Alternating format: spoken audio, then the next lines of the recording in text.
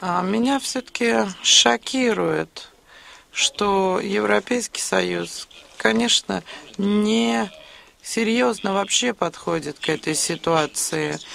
Мониторинг после а, грузинского конфликта должен был произойти.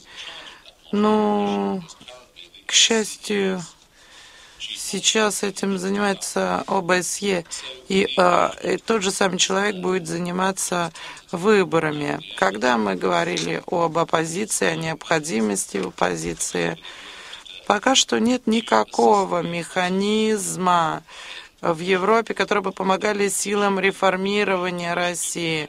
Ничего для этого у нас нет. Здесь мы должны быть гораздо более активными, потому что это страна, где проживает 140 миллионов человек, а, отчаянно нуждается в помощи.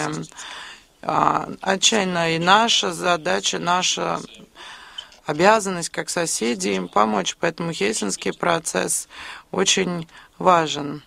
Мы должны справиться с этим вызовом. Люди все время кричат, они хотят создать лучшее будущее, но это неправда.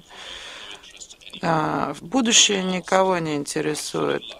А вот прошлое, про, полно жизни, оно нас а, а, а, оно все время говорит с нами, почему люди хотят быть хозяевами будущими, просто для того, чтобы изменить прошлое.